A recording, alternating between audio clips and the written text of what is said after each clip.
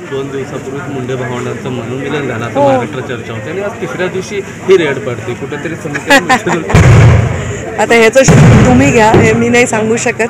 त्या अधिकाऱ्यांना मी सहकार्य केले. कारण मी कर्मचारी सगळे काढून टाकलेले आहेत. कारखाना बंद आहे कारखाना अंधारात आहे कारखाना लॉकमध्ये आहे. तर त्याच्यामुळे माझ्याकडे माणसं नाहीत पण मी कोलूप उघडून त्यांना कागदपत्र दिलेले आहे तर हे काय आहे मला माहीत नाही. मलाही हळूहळू कळेल. मागच्या काही दिवसामध्ये राजकीय घडामोडी घडतात आणि असं कळतं की मला डिअर माहीत नाही मी त्याच्यावर काही फार टिप्पणी करू शकणार कारखान्याकडून तुम्हाला कोंडीत पकडण्याचा घाट आहे का? काय वाटतं राजकारण?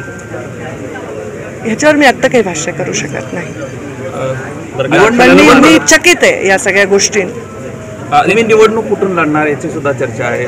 माथाडी असेल किंवा इतर सुद्धा. पुन्हा एकदा चर्चेला तशा सुरुवात झालेली आहे. तुमची काय सध्याची भूमिका?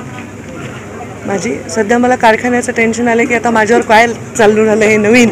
मी त्याच्याकडे माझं सगळं लक्ष आहे. त्यामुळे निवडणुकीकडे माझं लक्ष नाही निवडणुकीला अजून वेळ आहे. पण मी निवडणूक दुसरीकडून लढावी अशी चर्चा का झाली आहे? मला हे काही कळलं नाही. त्याच्यावर ही ती- खूप अर्ली आहे हे सगळं डिसाईड करायचं. आता काय राजकीय घडामोडी होणार आहेत? त्याच्यावर सगळ्या गोष्टी पण मी माझ्या मतदारसंघात आज तरी प्रयत्न करते. सगळ्या निवडणुका लढते आत्ता मार्केट लढतीये मी कॉलेज लढतीये. मी निवडणुका लढतेच आहे ना. मी कुठे मतदारसंघातूनच आली तुम्हाला इथे भेटा घाट पडली की छापा टाकलं गेलं काय सांगा? मला असं वाटतं एकटाच जी एस टीला पंकजाताईचा कारखाना कसा सापडला हा एक प्रश्न आहे. राजकीय हेतून आहे की खरोखर जी एस टी वसूल करण्यासाठी मग त्याचा तपास व्हावा. कारण की परवा भंक भगवानगडावर पंकजा मुंडे आणि धनंजय मुंडे एका व्यासपीठावर होते. त्यांनी असं काही वक्तव्य केलं असं म्हणजे एकत्र येण्याची शक्यता आहे.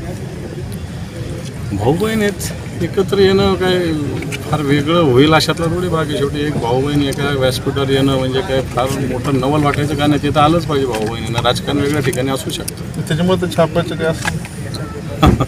मी तेच म्हणलं नाही की पंकजाताईच्याच एकट्या कारखान्यात जी एस टीचा प्रश्न आहे का? मला तर वाटतं सगळ्याच कारखान्यात जी एस टीचा प्रश्न असतो मेजॉरिटीने तिकडे काय नाही एकट्या पंकजाताईकडेच का? झालं ते काय चूक झालं असं मी म्हणणार नाही परंतु सगळ्याच कारखान्याचं जी एस टी वगैरे सगळं तपासणी झाल्या पाहिजे देश विदेशातील प्रत्येक घडामोडींचे लाईव्ह अपडेट मिळवण्यासाठी आता साम टीव्हीच्या सर्व सोशल मीडिया प्लॅटफॉर्मला लाईक फॉलो आणि सबस्क्राईब करा.